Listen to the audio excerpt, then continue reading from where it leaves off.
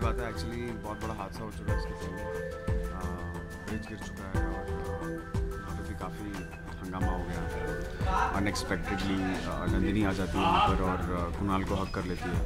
So that's a very big moment for both of them आग दोनों जगह पे लगी हुई थी और फाइनली दोनों मिल जाते हैं वहाँ पर और प्यार का इजहार विदाउट सेइंग एनी वर्ड्स हो जाता है ओनली थ्रू आइज़ और uh, उसी मोमेंट को ब्रेक करने के लिए मौली भी आ जाती है। So it's a whole big moment for all three of us और फैमिली डेफिनेटली यहाँ बहुत शैटर्ड है because once they came to know about it कि यू नो कुणाल ऐसे डेंजर सिचुएशन में था और uh, मतलब बाल बाल बचा। सो फैमिली बहुत इमोशनल हो रही है यहाँ पे और यू नो घड़ी घड़ी कह रही कि मैं क्यों चला गया घर से क्यों चला गया? ऐसे सिचुएशन में घर से जाना ही नहीं चाहिए था।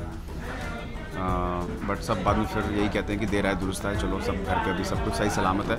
So don't worry about it and इसी बीच में नंदिनी भी uh, की शक्ल में वापस देखता हूँ यहाँ पर। And I am trying to gauge कि अब मैं उससे कैसे बात करूँ उससे पूछूँ कि क्यों वो आई थी मेरे पास क्यों उसने मुझे हक किया क्यों वो इतनी भाग की भाग कर मेरे पास आ रही थी क्या रीज़न था? सो so, वो सब क्वेश्चंस भी कुणाल के मन में चल रहे हैं at the same time and he's curious and he's been wanting to talk to Nandini.